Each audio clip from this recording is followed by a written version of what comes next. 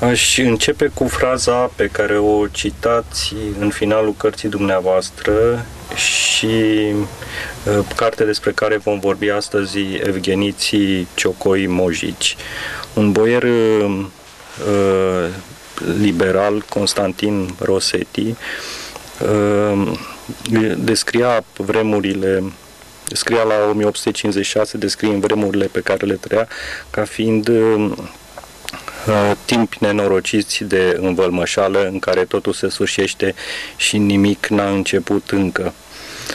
Uh, este o frază care constată un eșec al proiectelor modernității până la acel moment, un fel de inconsistență profundă.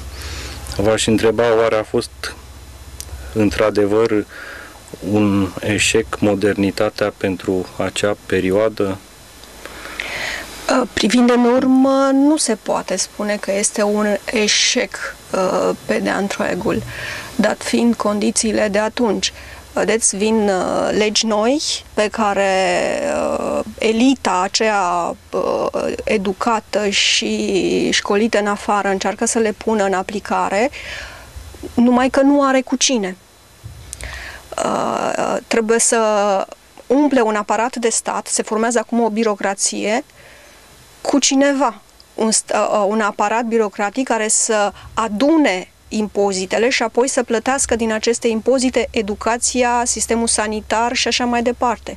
Mai că acei oameni trebuie luați de undeva. N-au, nu știu să facă mare lucru, nu știu să scrie și să citească și atunci Uh, modernitatea noastră se adaptează acelor condiții de atunci. Proiectul este lăsat baltă și va veni Alexandru Ioan Cuza, care din nou încearcă alt proiect de modernizare, care nu va dura nici el decât până la 66, pentru că va veni Carol I, care și el propune alt proiect de modernizare și putem spune că am început să demarăm atunci și ne-am oprit în 45, când din nou a venit alt proiect și uh, ne-am ajuns la 89 când ne propunem din nou să începem ceva, nu știm dacă vom termina. Uh, spuneați într-un loc din carte că toată lumea vorbea despre prifacere, despre schimbările uh, menite să aducă țările române în rând cu națiunile civilizate. Dar când se punea problema de a pune în practică uh, reforme, uh, aproape nimeni nu le dorea cu adevărat. Uh, și citind cartea dumneavoastră am senzația că uh, e un fel de cronică a rezistenței și a opoziției din partea tuturor categoriilor sociale la, la schimbări. Uh, oamenii se mulțumeau doar să se adapteze uh, să, la ceea ce se întâmpla. Nu, poate că în sinea lor erau convinși că vechile rânduieli erau mai bune. Dar ce credeți că le displăcea cel mai mult din, din ceea ce se întâmpla? În primul rând, sunt foarte repede înghițite aparențele. Oamenii trec, uh, mai ales în marile orașe, trec la haine europene, la trăsuri europene, la mâncăruri europene, dar atunci când este vorba de schimbarea sistemului în profunzime, de educație, de mersul la școală, uh, de justiție și de uh, punerea în aplicare a unor legi, de construirea unei uh, infrastructuri, lucrurile se schimbă. Oamenii nu mai vor, nu mai vor, de exemplu, să participe la construirea infrastructurii. De ce să contribui la construirea unui drum care ție nu-ți folosește. Țăranul era obligat prin aceste regulamente organice șase zile pe an să participe gratuit la ridicarea de drumuri și șosele. Ori țăranului nu era de folos aceste drumuri, de șosele, pentru, drumuri și șosele, pentru că el avea potecile lui prin munte, nu vroia să se ducă, sunt aproape scoși cu armata. Uh, tot acum se ființează o armată. Uh, dacă boierii, de exemplu, trec îmbracă haina militară pentru că îi reprezintă mai bine decât hainele europene, țăranii nu vor să, se, să devină soldați. Nu au de ce să se ducă să presteze uh, serviciu militar că nu le este de niciun fel de folos, astfel încât armata română la început are mai mulți ofițeri decât uh, soldați, are 200 de uh, ofițeri și um, alți 200 de soldați, la fiecare soldat cât un ofițer. Vedeți, sunt rezistente, rezistențe foarte mari la aceste schimbări din partea majorității populației, populație care nu este instruită. Mersul la școală este o problemă. De ce să-ți duci copilul la școală? În sat, în mediul rural, a învăța carte nu este o achiziție. Nu înseamnă că ești mai pricopsit, chiar dacă pricopseală vine de aici, nu înseamnă că ești mai pricopsit dacă știi să scrii și să citești. Copilul are alte atribuții în interiorul familiei decât cele pe care uh, le vedem noi uh, astăzi. Pe de altă parte, țăranul, ca să-și dea copilul la școală, trebuia să plătească salariul învățătorului. Învățătorul nu vrea să se ducă la țară. Învățătorul care se duce la școală în haine civilizate, civilizației Europei este uh, izgonit cu pietre în această primă fază a modernității. Nu îi se explică la ce e bună uh, educația și atunci să o facă pe banii lui, nu vrea să o facă. Nu vrea să se schimbe, nu are de ce să se schimbe. Și rolul Bisericii Ortodoxe în acest proiect de modernizare care a fost uh, uneori deci, senzația e că s-au opus influențelor occidentale, dar în același timp avea o misiune prin colaborarea cu statul în, în proiectele astea, în educație, în... Biserica este piatra fundamentală în acest proces de modernizare, pentru că statul mizează pe ajutorul ei în explicarea măsurilor necesare modernizării. Preoții sunt uh, în această primă perioadă, dat fiind că analfabetismul este atât de mare, iar preoții sunt într-o oarecare măsură posesori ai scrisului și ai cititului, devin prin intermediul gazetelor, în teorie așadar, apostolii modernizării. Și atunci statul se străduiește să le ofere prin intermediul boierilor o bucată de pământ, țăranii să muncească acest pământ, iar ei să aibă misiunea de a-i ajuta, de a-i școli, a școli copiii, a educa copiii și în același timp a oferi, uh, de a fi medic, profesor, uh, preot în interiorul comunității. Numai că preoții sunt ridicați din mijlocul uh, comunității și nu se ridică la uh, misiuni, la nivelul misiunii uh, încredințate. Pe de altă parte, biserica are propriile ei probleme. Cum să accepti acum? Gândiți-vă că exista o cenzură. Ori acum încep să pătrundă cărți de peste tot, în toate limbile. Uh, pot fi citite cu ușurință în franceză, nu mai e nevoie să vină preotul să-ți descifreze. Vorbesc aici la nivelul unei elite. Și răspundeam într-unul din, uh, la una dintre întrebări, uh, încep să-și pună întrebări, oare limbile străine sunt bune pentru creștinii ortodoxi? Păi nu, nu sunt bune. De ce? Pentru că limbile străine colportează tot felul de informații greșite despre creștinism și despre biserică, mai ales despre biserica ortodoxă. Oare, se întreabă predicatorul ecleziastic, femeile trebuie să știe carte? Păi nu, nu trebuie să știe carte, pentru că misiunea femeilor este să educe copilul, ori femeile, dacă știu carte, pot citi și alte lucruri, nu numai cele pe care noi le putem uh, oferi. Și atunci, de aici apar divorțurile, de aici apar uh, uh, problemele în interiorul familiei și din interiorul familiei în, proble- în, uh, în marea societate. Uh, biserica se opune prin aceste direcții pe care le trasează acestui proces de uh, modernizare și în același timp prin seriile de tergiversări pe care le întâlnești la tot pasul. Orice măsură dată, trimisă spre a fi pusă în îndeplinire, are nevoie de 10 ani, de 15 ani pentru a deveni practică. Uh, mie mi se pare că apariția lefii a salariului plătit de stat uh, către de, din ce în ce mai multor oameni a fost un factor destul de puternic. Uh, a pătruns în mentalități uh, contează, felul, contează pentru felul cum se construia atunci statutul social. Aș întreba cine era Fantele? Uh, ce, ce reprezenta el în mentalul uh, oamenilor de atunci?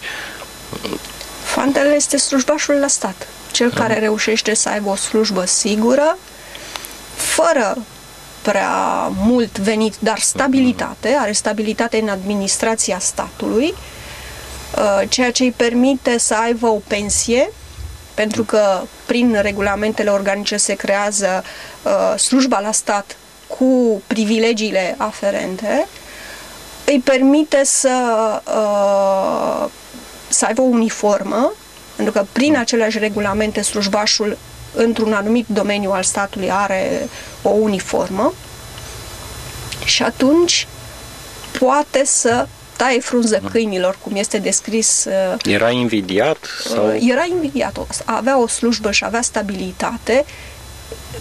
Cred că erau lucrurile pe care și le doreau cel mai mult oamenii acelor, uh, acelor, acelei epoci. Pentru că se trece de la un clientelism din curtea boierască la un clientelism către etatizarea acestui, către un clientelism în jurul funcțiilor uh, statului.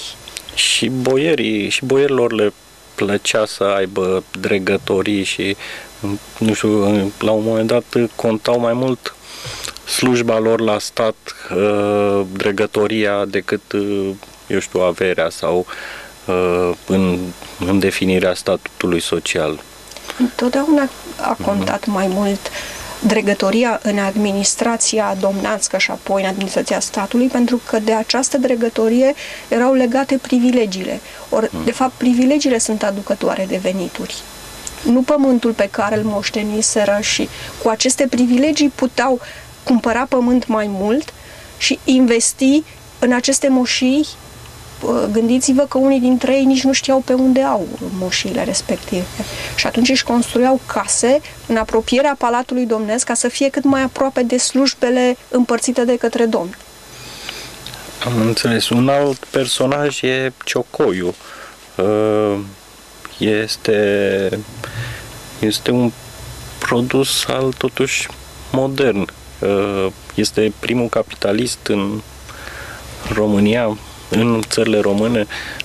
Este produsul acestei epoci când boierii își lasă mare parte averile pe mâna acestor uh, arendași grabnici să construiască la rândul lor uh, o avere și să copieze de fapt, că de aici nu, nu reușim să avem o burghezie, să dorească să copieze modelul marelui boier. În niciun caz să-și constituie uh, un spirit de castă care să-l facă să investească profitul, să investească în educație, să încerce să fie altceva. Întotdeauna s-a dorit copierea modelului dominant. Or, modelul dominant era boierul care ieșea cu trăsură la șosea, îmbrăcat cu hainele de, la, de ultimă modă de la Paris sau de la Viena. Și uh, bârfa, cura satului, aveți un capitol Uh, foarte interesant despre vecini, despre uh, bârfa gura satului uh, apar ca o reacție la, la schimbare, la modernitate, la noi realități sociale gura pentru a conserva, eu știu, o lume mai veche. Gura satului este o instituție informală, i-aș spune eu, specifică premodernității. În, mm. Ea este prezentă în tot uh, secolul XVIII și mare parte din secolul XIX, când orașele încep să crească. Uh, ea n-a dispărut nici astăzi și este de fapt un uh, reglează de fapt ordinea din comunitate. Oamenii nu se supun regulilor, dar se supun bârfei. În momentul în care încep să fie bârfiți de către cei din jur, încep uh, zvonul ăla se umflă, se umflă, se umflă și ajunge la urechile autorității centrale, în București, de pildă, la urechile mitropolitului, ceea ce îl face să intervină și să restabilească ordinea în uh, comunitate. Uh, noi astăzi, termenul astăzi de bârfă sau de gura satului sau de gura mahalalei sau de gura lumii au căpătat sensuri peorative, dar în epoca respectivă el regla de fapt pe cel care nu se supunea uh, regulilor uh, acceptate ale comunității. Vă mulțumesc. Aș vrea, fiindcă am discutat înainte și pentru că e o problemă foarte actuală, problema câinilor vagabonzi. Uh, e, cum, cum a fost tratată problema aceasta de la, am înțeles că prima oară s-a pus uh, la 1800, începutul secolului, problema câinilor vagabonzi în București. La 1810 este o primă măsură luată în prezența uh, armatelor ruse. 1806-1812 este ocupația rusă în țara românească și Moldova. Atunci fiind foarte mulți câini pe Dâmbovița, pentru că acolo erau și multe abatoare, multe măcelării, uh, apare uh, prima dată problema ce facem cu ei. Și atunci apar și primii hingheri, uh, primii hingheri fiind uh, țiganii, îi omorau, îi alergau pe străzile, pe ulițele mahalalelor și îi omorau. Abia modernizarea și aceste regulamente organice va încerca să ridice regulamente pentru fiecare oraș. Și veți vedea, luând documentele, că și la Iași, la București, cum v-am povestit, la Râmnicu, Vâlcea, la Craiova, autoritățile locale încep să-și pună problema, cu probleme ridicate de câinii maidanezi, de cum îi numim noi astăzi. Uh, și în primul rând există un regulament prin care se cere ca toți stăpânii să-și țină câinii legați, uh, amenințând că hinghierii vor ridica atât pe cei uh, cu stăpân cât și pe cei fără de stăpân. Iar apoi încep să fie uh, mobilizați aceste echipe, mobilizate aceste echipe de hingheri. În București, de exemplu, îi adunau în căruțe și îi uh, duceau afară din oraș, de unde se puteau întoarce, întoarce înapoi. La Râmnicu Vâlcea, toți țiganii erau cei care se ocupau de ei și atunci, uh, pentru a-i stimula, uh, erau răsplătiți la coadă de câine. Primeai o coadă de câine, primeai o para Uh, schimbul mai că și-au dat seama, autoritățile locale și-au dat seama că de fapt sunt păcăliți că acea coadă de câine poate fi decupată în mai multe părticele și că primeau trei parale pentru un singur câine, atunci erau răsplătiți în funcție de limbă. Primeai o limbă, uh, țiganul da o limbă și apoi uh, primea o para. La Iași sunt pur și simplu jupuiți. În 1852 există o, o circulară prin care se cere uh, evitarea unui astfel de spectacol, dat fiind că este oribil, și găsirea unor soluții. Ori soluțiile atunci, pe moment, par a fi adăposturile, construirea unor adăposturi și câinii erau ținuți două, două zile, nu mai mult, timp în care uh, stăpânul putea să vină să-și-l ridice, dacă nu era din nou omorât, dar în afara comunității fără a oferi acest uh, spectacol oribil. După cum vedeți, întotdeauna am avut o problemă cu uh, câinii noștri și n-am scăpat de ea nici astăzi. Oare uh, se poate face o asemănare între fans și hipster? da, am citit-o în dezbaterea Mm, nu cred. nu cred. Bine. Alte personaje, alte timpuri.